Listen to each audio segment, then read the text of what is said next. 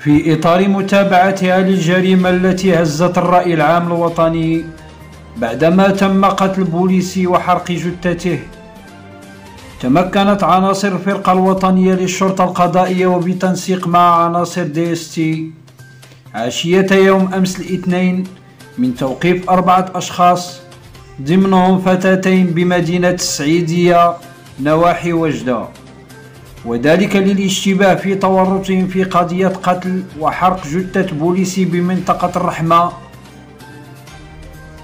عملية التوقيف تضيف مصادرنا تأتي في إطار الأبحاث العلمية والميدانية التي لا تزال تجريها مصالح المديرية العامة للأمن الوطني التي جندت مختلف مصالحها وإمكانياتها للوصول إلى فك لغز الجريمة النكراء.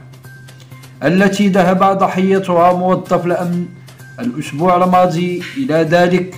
فقد تم نقل المشتبه فيهم بعد توقيفهم تحت حراسة أمنية مشددة إلى مقر الفرقة الوطنية بمدينة الدار البيضاء.